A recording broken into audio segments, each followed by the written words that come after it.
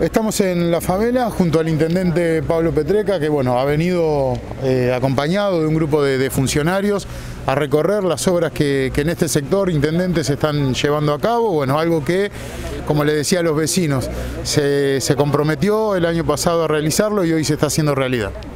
Estamos muy felices de poder avanzar con un servicio que es fundamental. Hablamos de las cloacas, hablamos de mejorar la calidad de vida, pero sobre todas las cosas hablamos de la salud.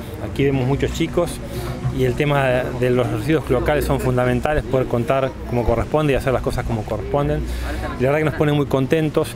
Este es un trabajo que lleva su tiempo, que lleva su planificación. Recordábamos con Guido, ni arrancamos en la gestión, pudimos hacer el agua allí en el 2016-2017.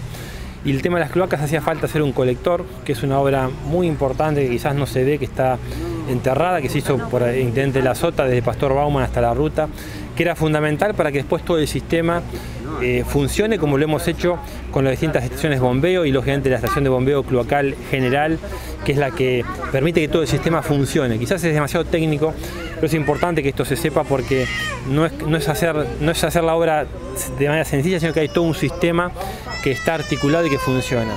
Una vez ya hecho eso, estamos en condiciones con los niveles necesarios, con un trabajo de ingeniería, de poder hacer las cloacas aquí en la favela. Vinimos en octubre del año pasado, hablamos con los vecinos, hablamos con Lelo, nos comprometimos a hacer las cloacas.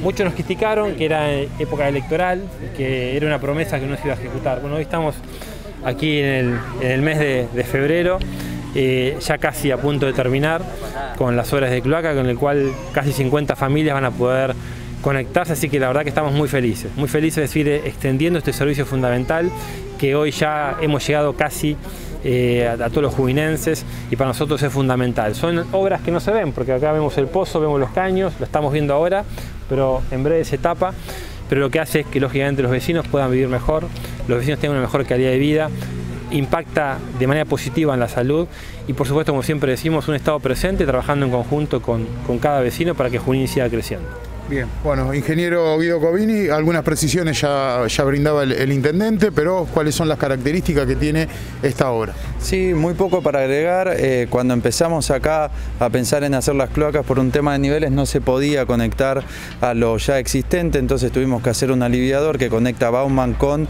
eh, el colector que pasa por Ruta 7. Eso nos da el nivel y la profundidad necesaria para conectar el barrio. Y bueno, hoy nos encontramos acá en Doctora Y de la Sota, haciendo ya la conexión eh, a, la, red existente.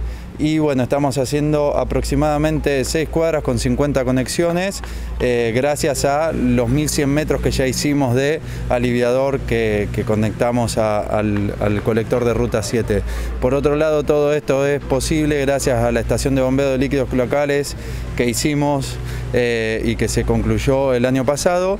Y bueno, eh, es eje de gestión, seguir con un servicio que da salud y, bueno, y que da dignidad a los distintos vecinos de la localidad de Junín. Bien, bueno, nos acompañan también Lelo Carballo, un referente de, este sector, y María Adela, una vecina que ha recibido al intendente, bueno, que le ha comentado eh, el impacto que tiene eh, esta obra en los vecinos. Lelo, ¿cómo, ¿cómo lo toman ustedes?